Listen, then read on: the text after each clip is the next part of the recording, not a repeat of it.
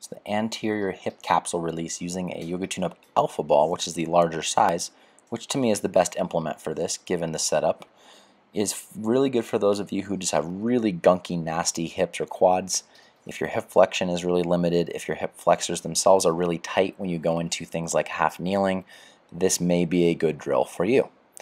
Um, you want to be careful with how hard you push the ball into the capsule just because there's a pretty thin layer of connective tissue here. So you want to try to use the other limbs, the, all three of the other limbs that are more of the supporting limbs in this position, you want to try to utilize those to manage the amount of pressure that you're putting into the ball. From here, you're just gently and slowly scouring around the edge of the hip and through the front of the ilium. You might get into some of the tissues like the psoas or the iliacus or the upper rectus femoris muscles themselves.